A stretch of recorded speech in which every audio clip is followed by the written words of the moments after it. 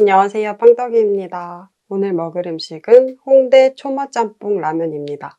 맛있게 잘 먹겠습니다.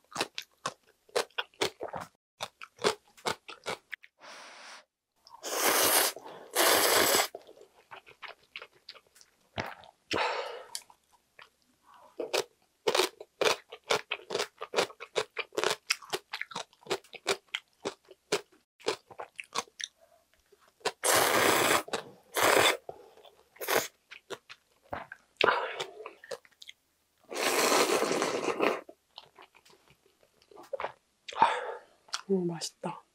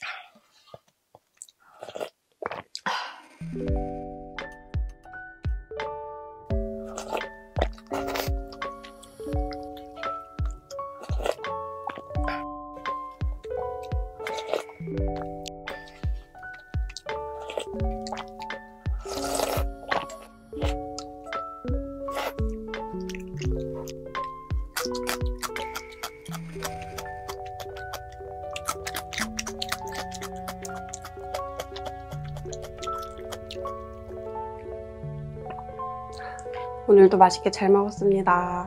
다음 영상에서 만나요. 안녕.